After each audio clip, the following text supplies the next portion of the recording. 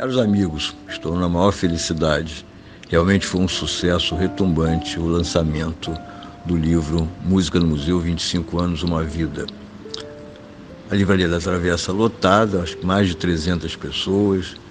Então foi um registro importante e o prestígio que a gente teve da presença de tantas pessoas, desde músicos, público, personalidades da vida social e política do Rio de Janeiro, juízes, desembargadores, enfim, pessoas que estão ligadas, que fazem parte da história do Música no Museu.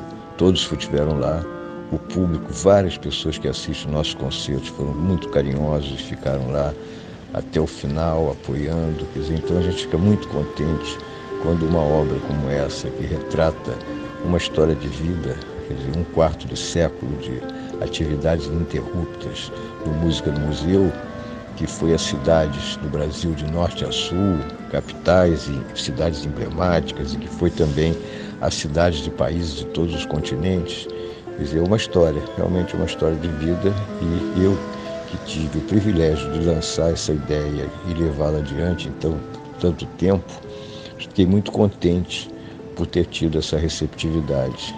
E fora os carinhos das mensagens que recebi, quer dizer, foi assim uma um, um, marco importante na minha vida.